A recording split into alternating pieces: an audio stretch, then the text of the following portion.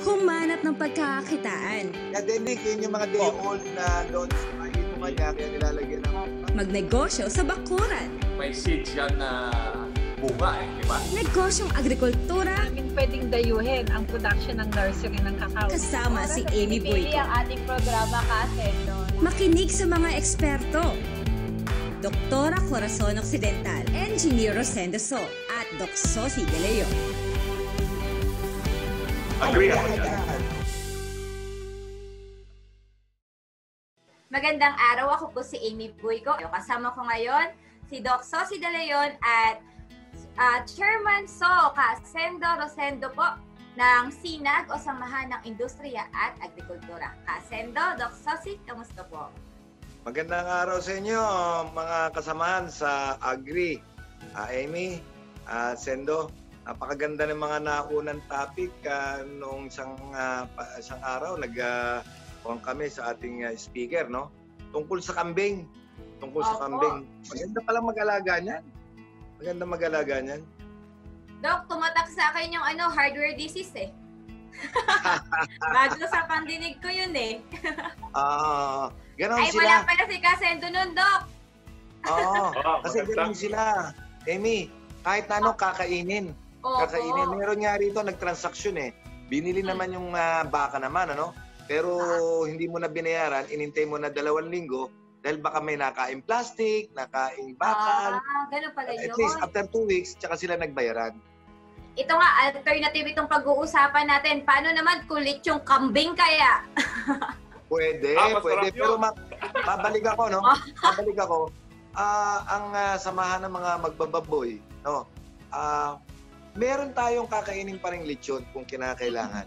Ah, ina-assure ng farmer yan, gagawa ng paraan. Sana maka matulungan ng, ah, ng gobyerno na yung transport ng mga, yung kung saan marami, mailipat doon sa. Yun lang Opo, ang- yung maayos linkage- na pag-transport. Yes, yes, yes. Yung shipping, dito nga ngayon eh, puro 'di ba? Puro online na yung mga shipping fee, merong free delivery. Sana naman pati sa baboy meron, dok, sa kakasedo.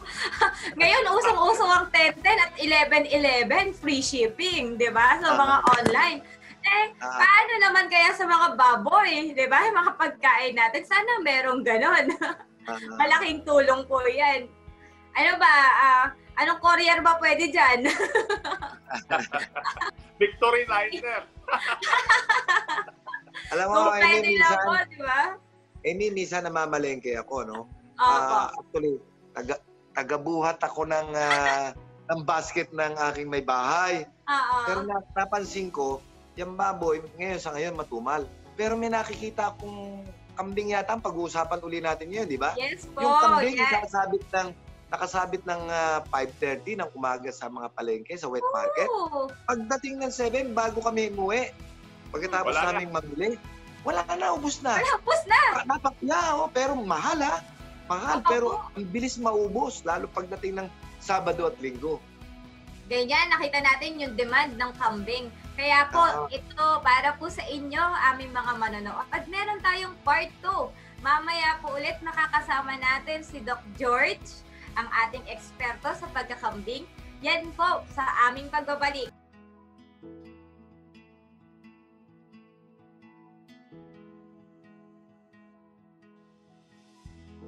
Tulad po na napag-usapan namin kanina, ah ito po ay part 2 ng ating usapan tungkol sa pagkakambing.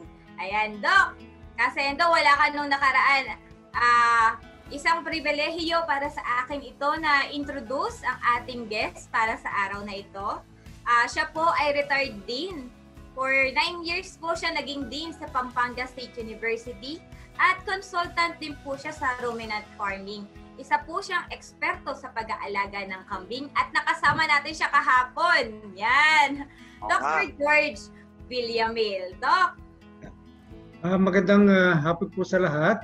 Ah, I'm glad to be invited to uh, share my uh, knowledge about uh, small ruminant uh, production or small ruminant raising. Um, Bin, Bin, ah, mahirap pa mag-alaga ilang buwan bago ma-breed ang ating mga kambing. Pa- Paano ba yan? Tsaka paano ang breeding? Ilang magiging anak? okay. bago ko po yan sagot, isa, i-share ko po muna yung mga ah, mahalagang ah, technical information related sa breeding, Yes po. ah, regarding ah, sa kidding, yung panganganak, yung pagbibreed. Okay. Ang kambing ay ah, ang age of puberty niya, that is, yung edad na pwede na siyang kastahan, mabuntis, ay 6 months. Especially ito ay especially sa mga ah, native goats, ah, pagdating palapit pa lang ang 6 months nila, ay medyo kumbaga to use a uh, street word, maga na silang lumalandi.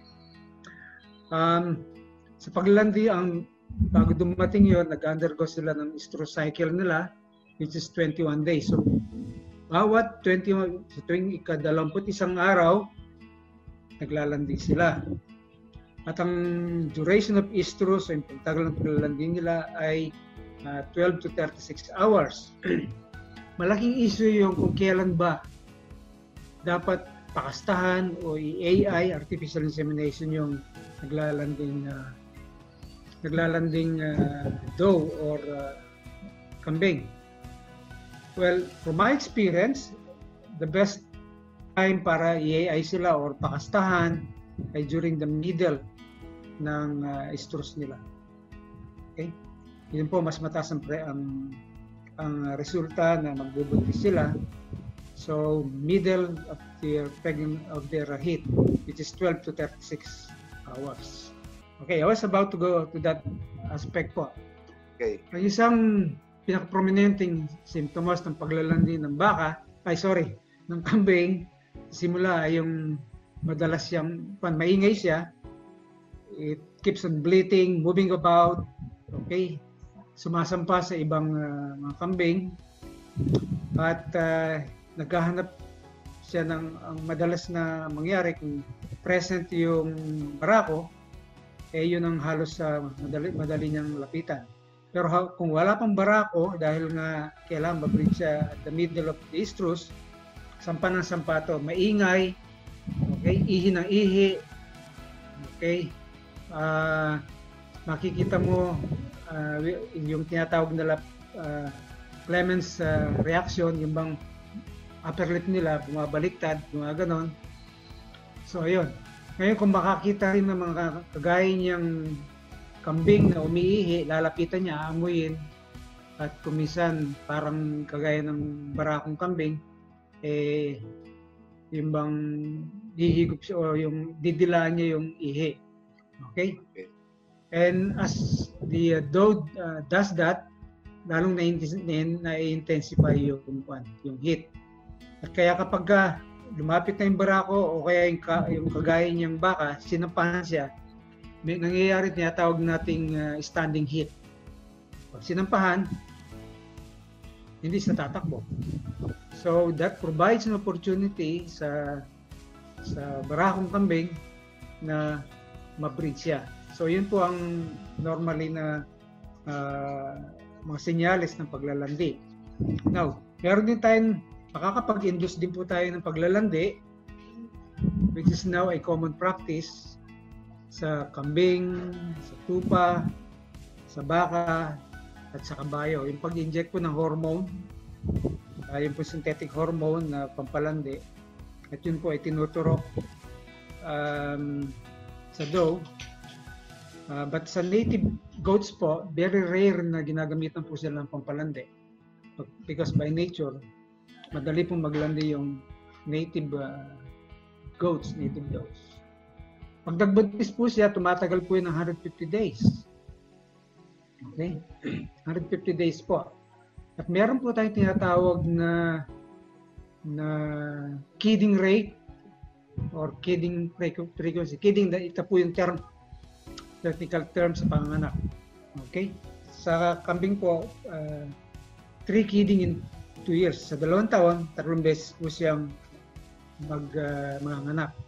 However, para ma-attain po niya yung killing rate na yon, the uh, goat racer must be very efficient sa tinatawag nating uh, breeding management ng kanyang mga kambing.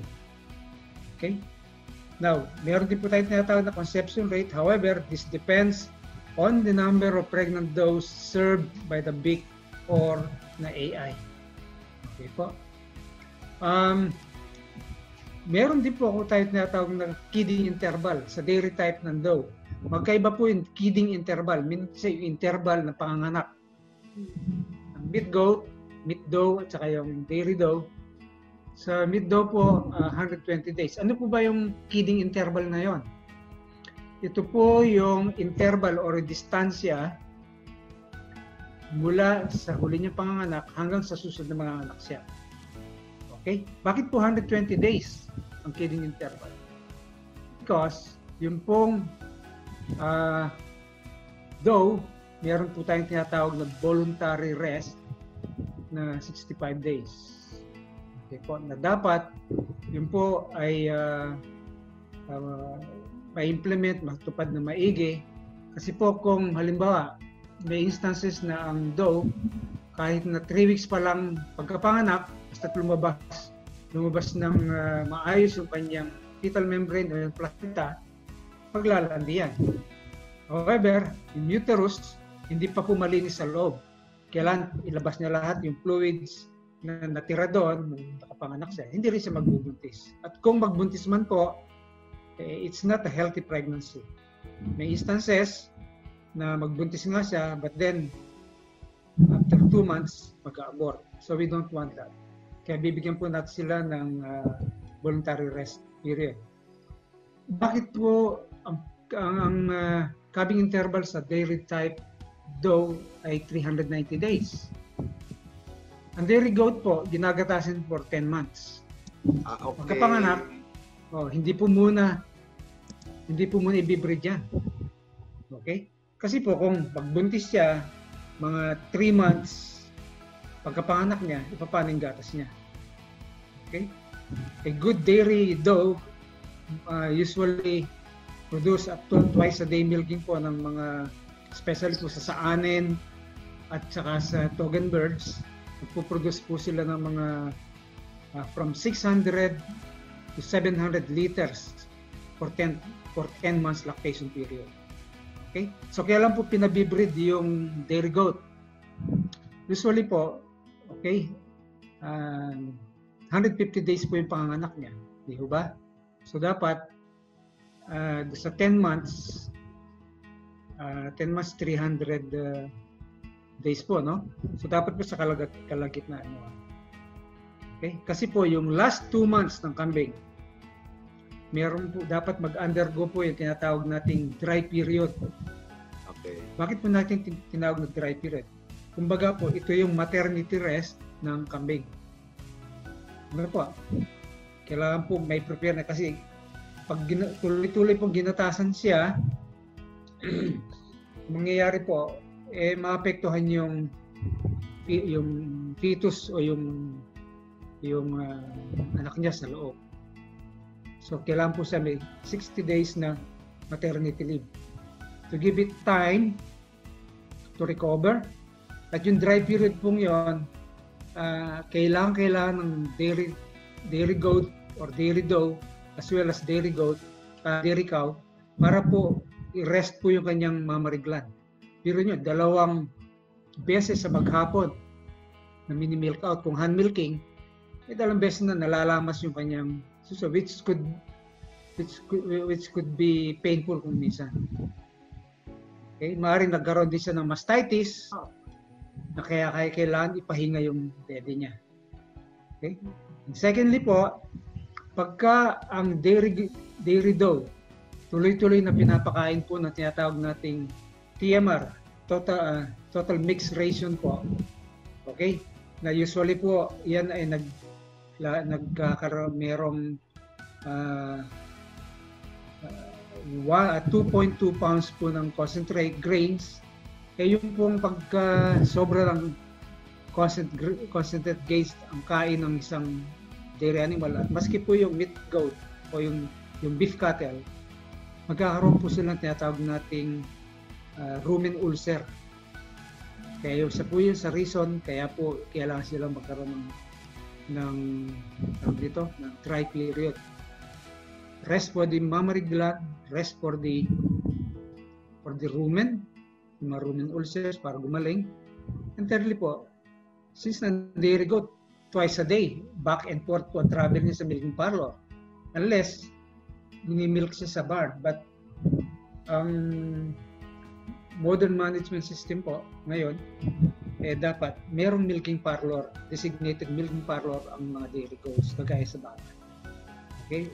Because on the issue po ng maintaining good milk quality. Right? Now, ang, nasabi ko na po kanina, ang length na lactation ng dairy daw, 10 months. Okay?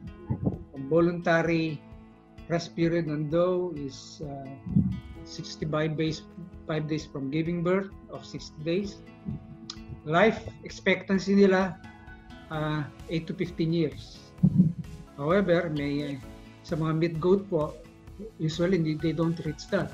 Kasi pag kinal na sila, Tapos uwi na. sila, papaitan Oo, na. tama, tama. Okay, di ba ba? But with dairy goats, it's possible po. Ideally, in the based sa total ration po nila na magkahalo yung uh, forage plus concentrate grains, dapat po ang feeds o yung concentrate grains must not exceed uh, 20% ng total diet po.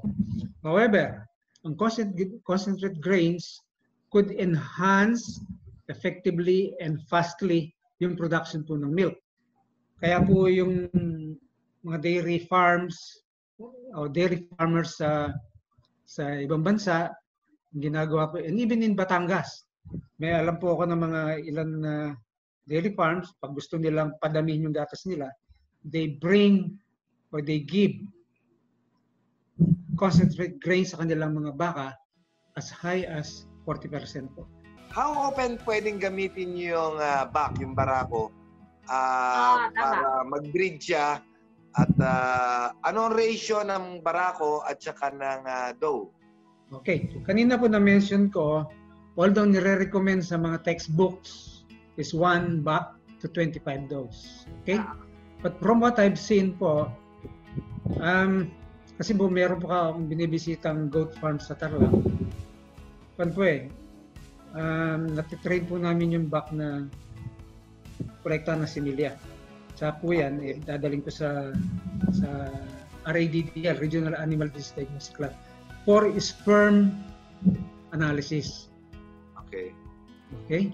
At kapag ka po sobrang dami ng kinakasta ng isang barako, regardless na ito ay bower or anumang lahi na malaki, imported, eh, kung po, maapektuhan po yung semen quality niya. Tinitignan niya, tinuturuan ko rin po yung may-ari na tingnan niya yung kidding rate, conception rate, pregnancy rate. Importante pong ma- makuha yun eh, para makita mo kung viable yung baka, ay yung bak.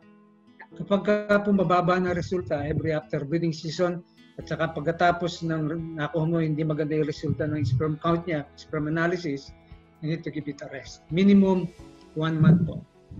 So you have to One rest po. month. One month na nagpapahinga?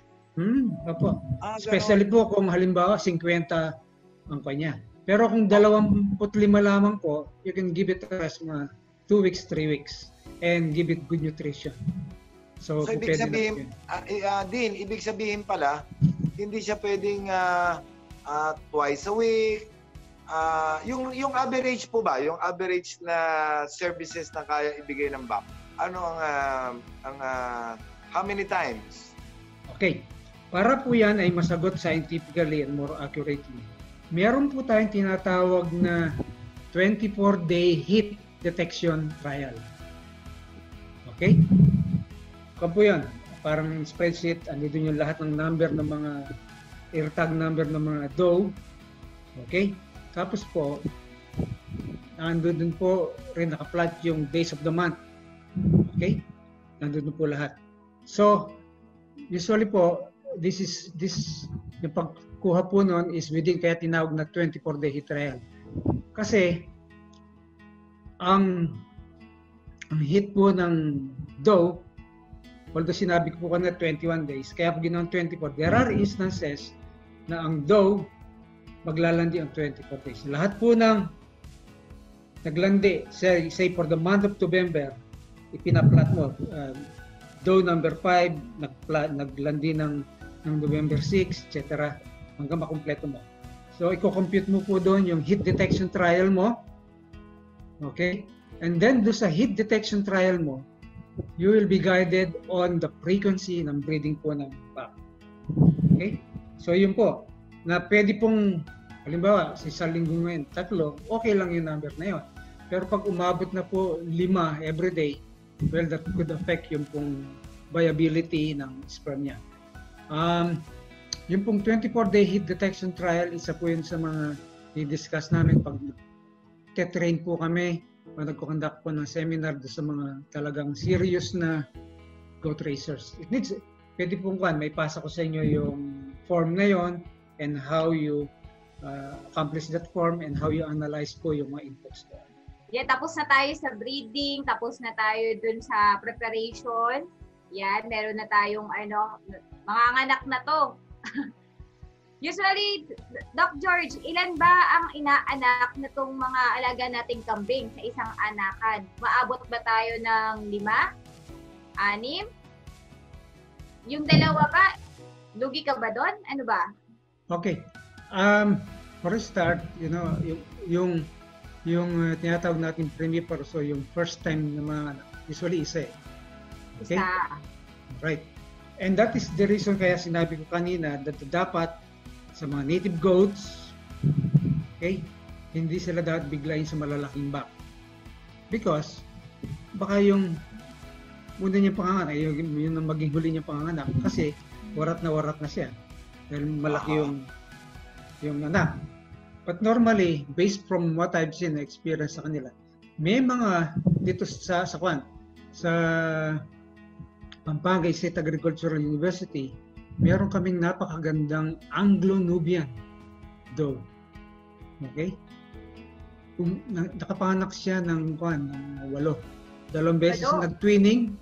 Tapos yung first time niya, malaki kasi yung uh, kwan niya eh. Nakapanak siya ng kwan, ng walo.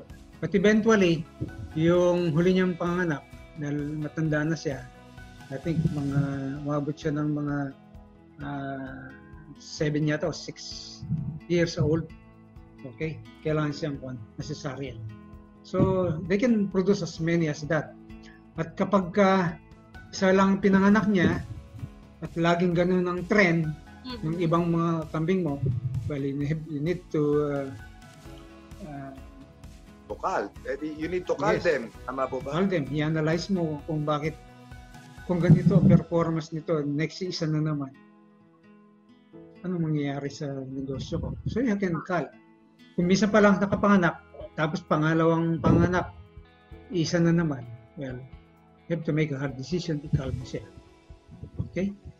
Now, but Kung ilang with buwan nga ulit bago manganak ang ano? 150 days yung tagal na, na pagbubuntis niya. 150 days. Yes, yes. Yung mga 6 months. Tama. 5 months. 5 Five times Five 30. months. Five, bali, five Five months. months. Five months siya. Oo. 5 months bago manganak ulit. Ah. Yes. After yung 5 months na yon, 1 month pwede na ulit. Well, bibigyan mo siya ng tinatawag na voluntary rest period na 60 to 65 days.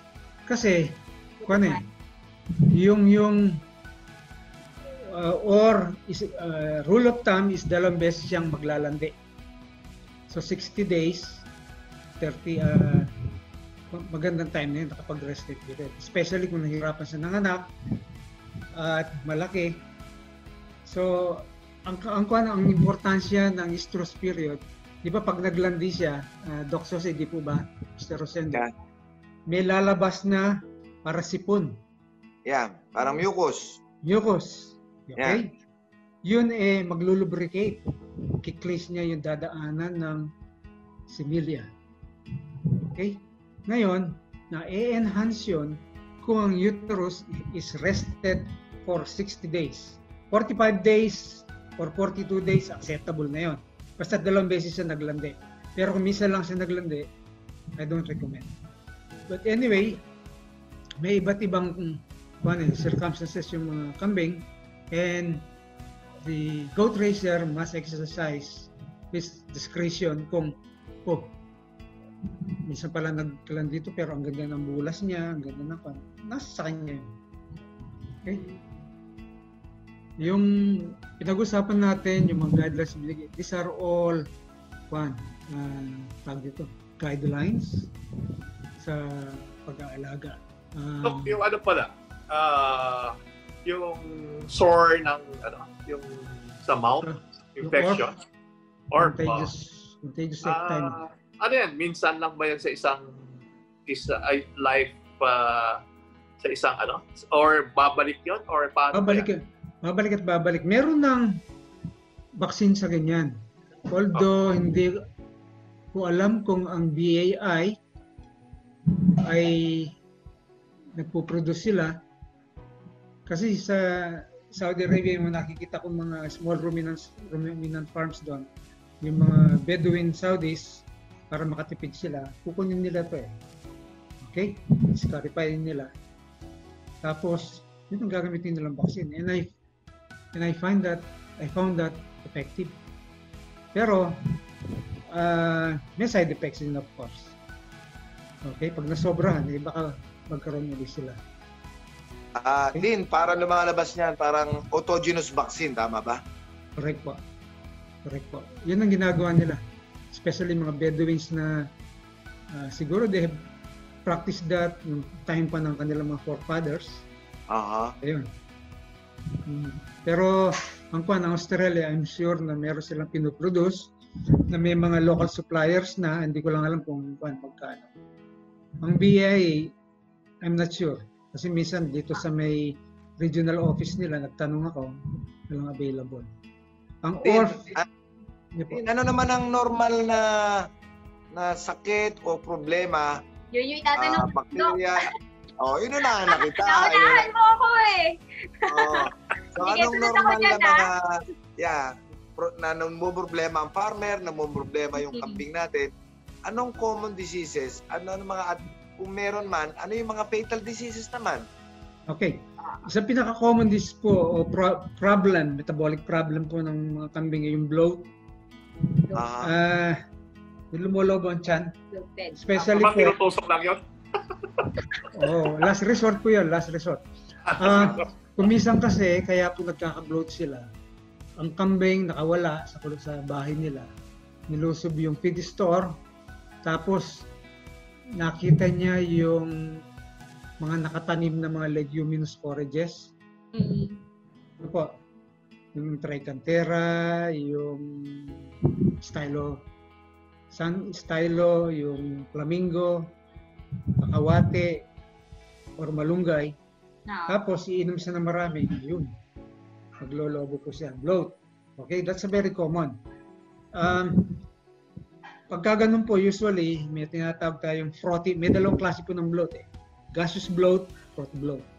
Yung gaseous, napakadaling, pan eh, mahusay ka mag stomach tube, yung, yung mga ganito ang gauge ng ah, hose, yung mga sigat, i-stomach tube lang para palabasin yung hangin. Okay, may instances yung yung frothy bloat, yun ay pagka nasobrang kain niya ng feeds at saka ng legume, legumes. So natatrap po yung air. So palobo ng palobo. At doon papasok Mr. Rosendo yung pong bubutasan nila. Mm. However, Trocarang cannula. opo, Trocarang cannula ang siya. tawag doon. Yes, thank you po. Ah, Sendo, ah, alam mo habang nagsasalita si Dean, naalala ko yung rabbit natin, hindi lang problema, bloat eh. Mm. Oo. Okay po. Uh, mamaya po, may kung po ako, may meron po akong sabihin tungkol doon sa bloat sa mga ka, mga, Ayan. mga rabbits ninyo. Ano po? Kung po. Aabangan po natin mamaya yan, Dok. However, Meron pa tayong Doc 3. Dito natin yan sagutin. okay. And po, sa pagbabalik po,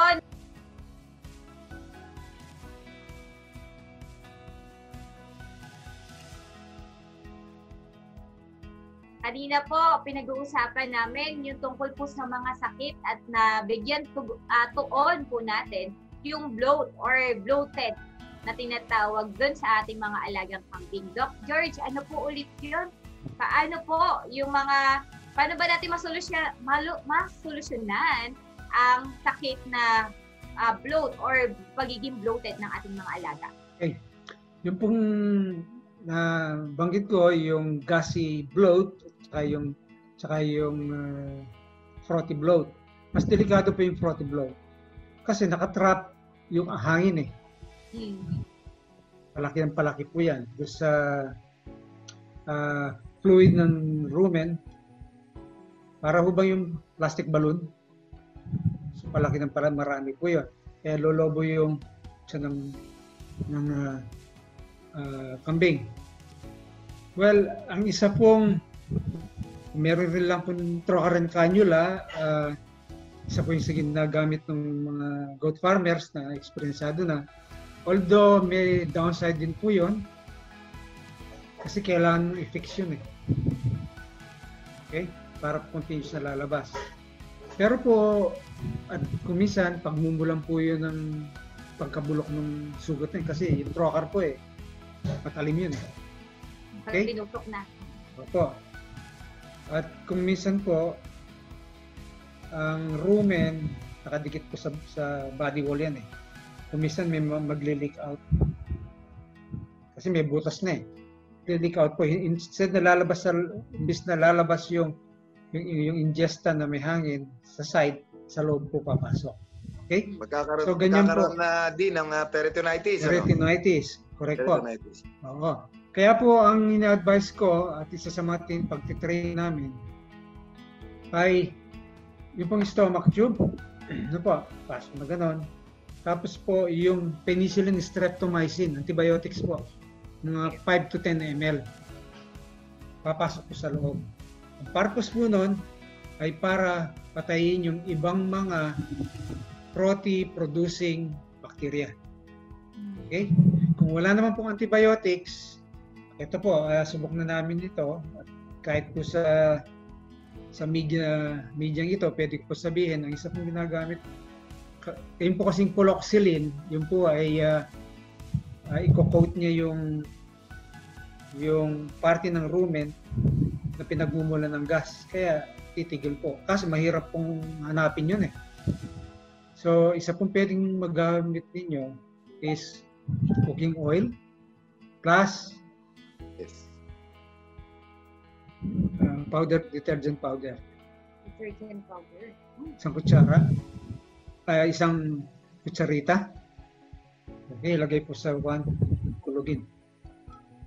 Okay, at unti-unti pong painin. Yun po ay kokontrol niya yung rapid growth ng mga protein-producing bacteria. Ay, ulit nga, uh, din, uh, gano'ng karami yung ah, ah, cooking oil and then gam, gano'ng karami yung ah, Okay, ah, powder detergent? okay. Ito pong gagamitin ko sample. Ano po? Okay. Okay. Yung cooking oil po, ilang m? This is 1 liter po yata to. 350, ah, 1 liter. Kalahati po nito would be cooking oil. 500. 500 na po. Okay. Now, kalahati 500 ml po. I mean, kung ngayon po nyo uli, lagyan ng isang kutsaritang Detergent. detergent. Huwag po yung Ariel. Medyo mataas yun. Makapuputi sa loob eh. Shake. Ako, marami na tayong babayarang advertisers dito.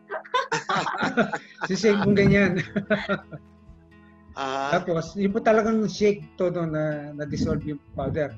Tapos, unti-unti po, huwag pong biglaan. Baka pumasok po sa kanyang lungs. Yun po ang pwede nyo magawa. Hmm. Imbis na trocaran cannula. At kung wala po rin lang po kayong trocaran cannula. Kasi po sa trocaran cannula, ang dami pong handle ko na cases na gano'n. Kakaperitonitis. At kung po, dahil patuloy pa ho lalabas yung pan eh. Yung froth. Even on the second day. Diyan naman ho maglalanding yung mga yung mga banga, ang tawag doon, yung butterflies. Yung yung bangaw, bangaw ko bang tawag natin doon sa malalaking tangaw na kulay green ng mata. Doon po mangingitlog. So, maiwasan po yun. Although, kung yun pa rin ang preference mo, kailan i-shave mo muna yung site. Yung pinakamataas na point ng rumen, doon mo itusok.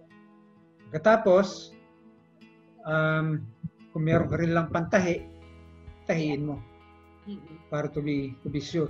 Kasi baka mag ang worry ko sa trocal and cannula, ang dami pong nagkaka-peritonitis. Pagka in-slaughter sila, pagka magaling na, tuyo na yung sugat sa labas, kasi makita mo, ang daming nana, I mean, yung Nana. abscess, sorry, sa loob. Yun na maliliit pong mga abscess. At yun po ay dahil sa peritonitis. Mm. Doc, Okay. yung mga yan, ano, mismanagement, no? Ha? Mismanagement po, yan, usually. Oo. Paano Mga kasi- ba, ano, ang mga housing ng ating mga goat, paano ba natin sila mapapanatiling safe? Paano ba yan? As I've said earlier, sa first episode natin yata, ang kambing ay masyadong susceptible sa sa ulan. Opo, Sa lamig. po. Kaya ang nangyayari dyan, ah lagi silang nagkakanumonya, tapos papasukan pa ng worm infestation, yung mga blood-sucking worms, yung tinatawag Mm. nating barber, barber's pole worms.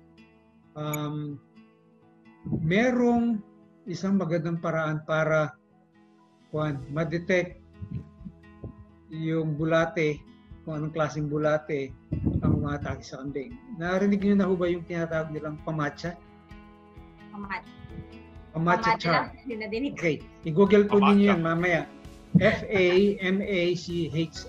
Pamat. Pamatcha. Okay. Isa po yung chart na color chart po na Mm. nandoon po papakita sa inyo kung anemic na yung kambing sa mata.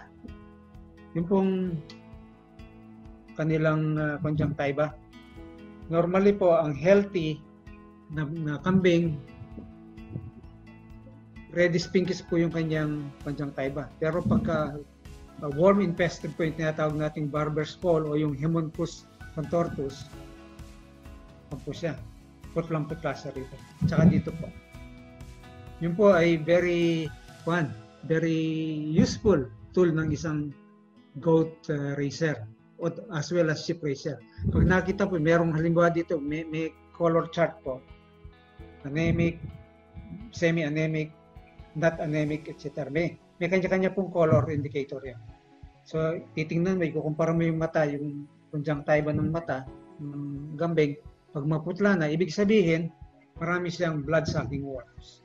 At dun mo, dapat, at yun ay napapanahon na dapat purgahin sila. Okay? Bill, may tatanong lang ako, no? Ah, nabang na binanggit ni Amy about doon sa mga kulungan, ano? Paki-elaborate na lang yung tungkol sa mga yung housing niya ba? At the same Mhm. time, at the same time, pwede bang pagsamahin ang ah, sheep and goat? At saka anong pagkakaiba ng ah, karakteristik ng sheep, ng goat, o pareho lang yan? At saka sa presyo, generally speaking, paano ang ah, sistema? Alright. Uh, to start with, ang goat po ay grazer. Ah, sorry, browser. Ibig sabihin, prepare niya yung ta- tatayo siya, mag-aabot ng Ah. mga overhanging leaves. Okay? Aha. Of course, nag-graze din siya pag wala siyang choice. But basically, umaki, uh, umaakyat din sa mga puno. Yung isang client ko sa Busuanga noon, eh, yung mga kambing niya, dahil ang mga puno po doon sa isla ng Busuanga, sa Coron, sorry. Yes, sa Coron po. Yung mga mal, matataba, kayang akyatin. Kita mo pagka mainit, ando doon sila nanginginain. Ah, kalimutan ko na lang kung pangalan ng puno na edible naman sa kanila. Yung sheep naman po, paano? Yung uh, kung compare sa dalawa. Ang sheep po ay grazer. To say, damo. Kaso, prepared nila pag mag-graze sa matataas na lugar. Okay, yung pong main difference nila. Cost-wise, well, dito sa Pilipinas po, mas, kuan, mas mahal yung ah, karni ng tupa kumpara sa goat. Kasi po, eh, kumbaga, High class. ang tawag dito, Oo. Lamb chops. po ito. Oo, mga class. ganon Ah, po sa mga sa mga kwan Restaurant. selected high-end restaurants sa hotel. Okay? Yung nga hong isang sheep farmer dito sa may Magalang, ah, ang kumuha sa mga sheep niya, kan po siya, ah, Iranian. Kasi meron siyang restaurant sa Angeles City at yun ang siniserve niya na, na meat. Goat, hindi nila ano. Goat, mabiling mabili po ito sa mga ah, alam nito, Indians. Okay? Sa mga ah, Australiano, prefer po nila yung goat's meat. Right? Although, very few po yung one nag-engage sa sheep raising kasi lagi nila sinasabi, limited ang market, hindi kagaya ng kambing. Doc, Right. Pero ano alin pala, po, alin, alin po ang, ma- alin ang madaling alagaan po dyan? Ang ah, sheep or ang goat? At saka alin ang mas mabilis ang, ah, ang ah, feed conversion? Okay. Ang sheep po, mas mabilis at mabilis tumangkad, tumaba, ah, mas madaling alagaan, less susceptible sa disease. Ang kuha lang sa sheep is parasites, external and internal parasites. Pero may ibang sakit kagaya ng bloat, very rare. Sa kambing naman po, ayan, pneumonia, coccidiosis, yung mga nagtatayin ng dugo, Ah, napakahina sa lamig, at saka sa, sa tubig sa tubig po. Doc, yung difference ano pala, yung ah, mga housing, di ba? Housing. Kasi maraming farm na piggery ngayon, wala nang ah, hindi nag-aalaga dahil takot sa ASF. Ah, Mhm. So, Tama, yung mga bahay pa ng baboy, kasi concrete yun, ha? Ah, pwede po ba? Pwede bang, ano, pwede bang i-convert sa, ano lang, sa goat? Well, for containment purposes, yes. Kaso, ang kung ko lang po, ang uh, dito, ang, ang kung ko lang po sa mga pig houses, konkreto eh. And it can affect po yung hoof ng mga kambing as well as tupa. Okay? Yun pong isang kong ko. Ah, meron pong isang ah, pig farmer dito sa may Pampanga, sa may parting Bacolor na na-ASF yung mga baboy niya. Eh, ang dami niyang kambing at tupa na nasa galaan. Pinasok niya doon pagkatagulan. Eh, isang complaint niya is, Doc, ang daming problema. Lame, lame na, na kambing ko at tupa, sabi niya. So, isa po yan. And then, ventilation-wise, di ko ba? Ang, of course, ventilation nila eh, overhead. Opo. Ang kambing po, prepare nila yung ventil yung panahangin na through and through sa side nila. Kaya Ah, ho, ang ang mga-. May mahangin. kaya ho yung housing na kailangan sa mga yan, dapat sir- nagsisirculate, properly ventilated. Otherwise, ang problema mo dyan, lalo na pag tayo nila direktong nahulog sa, sa silong at nagpuproduce ng pneumonia, that can lead to a lot of cases ng pneumonia. Um, sa piggery, well, um, I don't know kung anong klaseng piggery po yung piggery pension sinasabi ninyo. Ah, at saka kuan, simento hihiga sila, eh, it may lead to skin problems or again, it may lead to uh, uh, especially sa pro yung clostridium, yung E. coli po ng bako, ba, ng ng ah, baboy, ang tagal pong tumitigil, nag, nagiging, nagre-reside yan sa concrete flooring. And that the, the goats, especially the young ones, can uh, pick that up. Okay. Um, ang isa pong ginawa nung sinabi kong kwan sa Bacolor, eh, inayos po niya. Nilagyan niya ng mga siwang ba para makapasok yung. Sige nga, Doc. Ano ba yung dapat? Kasi sabi mo, hindi pwede yung concrete, matakasakit, tapos yung sa ventilation. Ano yung tamang design para sa ating alagang kambing? Minisok ko kanina yung housing requirement, space Ah, requirement, di ba? Right. Now, yun po on a per head basis. Yun po magiging basihan mo. 10 to uh, 18 square meters. Okay? It should be elevated. How high from the uh, from the ground? Okay? Um, as long as na makakadaan po sa ilalim yung kambing o yung tupa, that would be okay. Flooring, slatted bamboo will be okay. This is for backyard uh, uh, goat farm. Ano po? Yung kanyang sidings, um, pwedeng mga outlamber para lang wag makapasok. Then yung bubungan, it could be para sturdy. Yung used uh, GI sheets o GI roofs na mabibili mo sa mga sa mga dealer. It needs it doesn't need to be um, it doesn't need to be very expensive especially kung nasa learning the ropes uh, stage ka pa lang beginner ka. So yun ang mga kwan, use uh, indigenous material. Ah, yung iba ginagamit nilang pangposte yung bayog na kawayan or yung iba naman gagawin sila ng concrete post at saka yun ang gagawin nilang pang poste o panghaligi. Okay? Um, hold a second. Or pwede rin papag. Are you aware kayo kung ano yung papag, no? Opo. Yes, yes. Yung wooden uh, concrete, uh, wooden flatbed Yes. Na pwede kang ah, magpagawa doon. Okay?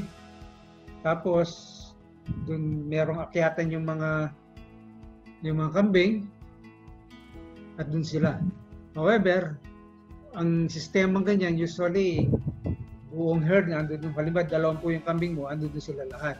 It is important to uh, segregate to have segregated housing para sa mga young stock, yung mga anak. Okay? Meron din dapat na separate na housing na area, containment area para sa mga buntis which can also serve as kidding or uh, yes, kidding uh, pen, pa- paanakan. Okay? Now, uh, below the papag, pwede kang magpagawa ng feeding trough. Okay? Which is about ang requirement per goat basis is I think 10 to 18 inches linear linear inches. Okay?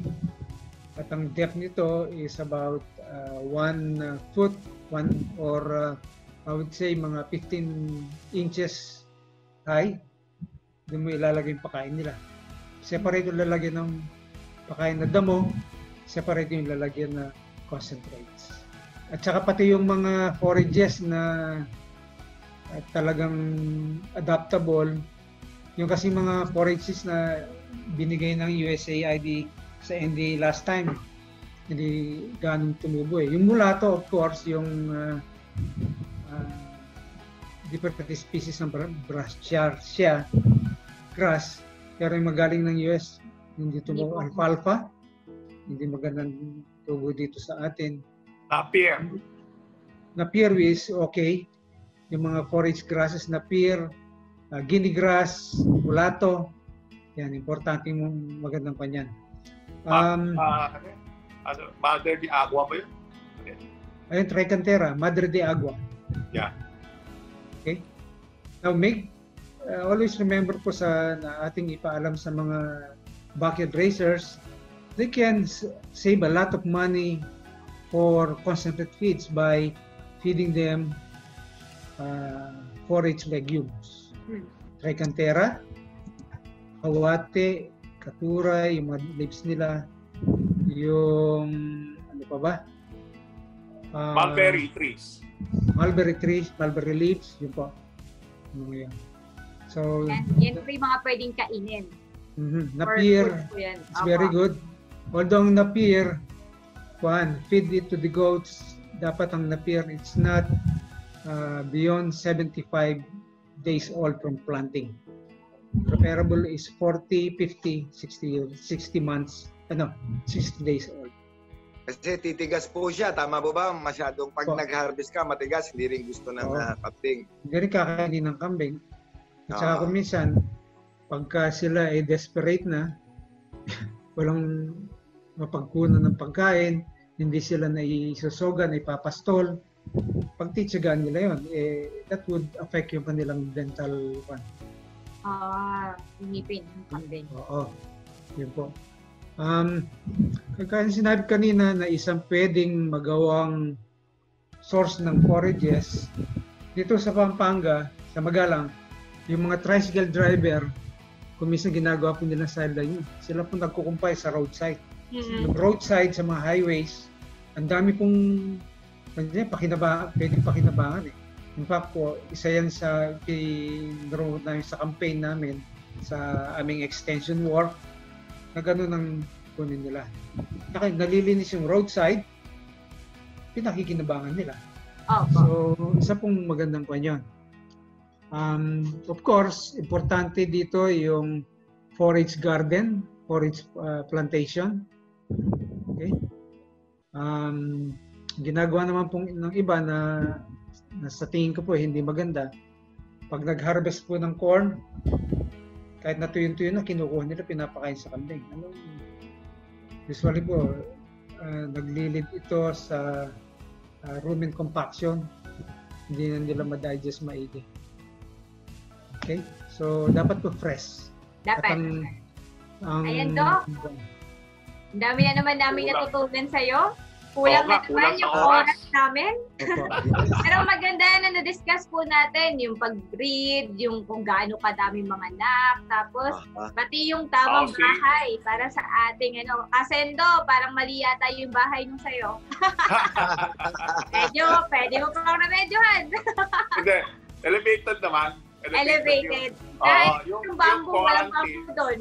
Yung quarantine nasa, no? Nasa concrete pala. Nasa concrete. Oo, yan. So, Oh, Kwan, Miss Ami, yes po. kwan nyo, ti- yung, yung pinadala ko kay Kwan, kung may kopya ka, makikita nyo yung mga different, talagang very low cost housing ito. May, di, ito nga sa, may parting Cambodia eh. Gumawa sa yung papag na uh, pinawinelding nila. Opo. Tapos nilagyan nila ng flooring yung nabibili sa mga sa Wilcon na Plastic. parang plastic matting. Yeah. Pinatong Oo. nila. Tapos nag-occupy yung yung house yung housing area na yun ang ang size ng housing area niya yun is about 200 square meter. Binakuran niya yun ng bayog. Mm-mm. Ayun. Okay? Yun Bayog. po yung ginawa nila. Yun ang housing niya. Tapos Alam niyo bubungan, yero. Iisip ko ah, Oo. hindi naman po talagang malaki ang gastos dito sa mga goat eh. Kung iisipin na, yung tamang Hmm. kaalaman lang talaga. Para po Yung makapag- importante, yes. Opo, yes. importante. Para po Importante, naka-elevate siya. Ah, Tama po.